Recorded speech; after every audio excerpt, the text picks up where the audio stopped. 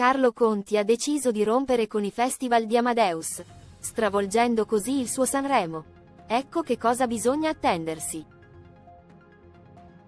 Sarà una stagione televisiva impegnativa per il conduttore di Rai 1 che dovrà portare avanti non solo i suoi impegni tradizionali, come tale e quale show, ma è già al lavoro per la prossima edizione della Kermesse musicale che andrà in onda nel mese di febbraio. I dirigenti Mediaset non hanno avuto dubbi nell'affidare il prossimo Festival di Sanremo a Carlo Conti, dando a lui la responsabilità di prendere in mano questa patata bollente, dopo le straordinarie edizioni messe a segno da Amadeus negli ultimi cinque anni. È così che il conduttore toscano avrà il compito di mettere in piedi una nuova edizione della Kermesse musicale che si prospetta molto diversa dalle precedenti, come lo stesso Conti ha fatto intendere. Carlo Conti prepara Sanremo. Ecco tutti i cambiamenti. Il conduttore ha lasciato una interessante intervista a Diva e Donna, nella quale ha spiegato, tra le tante cose, anche come sarà il suo ritorno all'Ariston in qualità di presentatore e direttore artistico.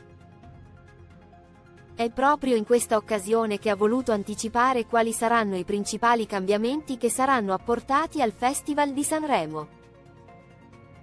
Conti ha rivelato che sarà un festival con tante iniziative e avrà un taglio più vicino al passato rispetto alle precedenti edizioni condotte da Amadeus.